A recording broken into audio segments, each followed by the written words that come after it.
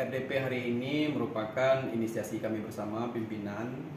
eh, karena melihat kondisi PDAM yang mungkin sudah status pada sakit kalau sakit sudah komplikasi sehingga terhambat penyaluran air bersih bagi masyarakat. Karena mengingat penyaluran air bersih bagi masyarakat itu adalah pelayanan dasar yang harus diperhatikan bersama, maka kami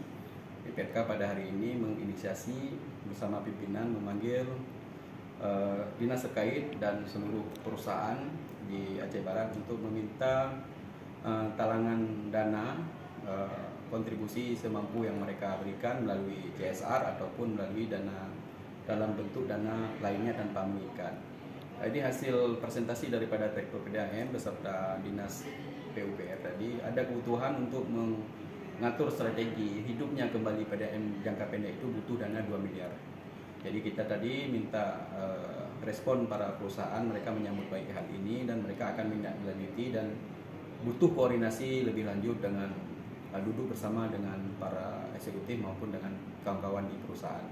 Jadi sudah mereka sanggupi, uh, kita memberi waktu satu minggu uh, untuk pihak perusahaan memberikan uh, dana yang seperti kita nyatakan tadi untuk dapat berfungsi kembali PDAM di minimal dulu di satu kecamatan yaitu Johan Pahlawan supaya uh, tidak lama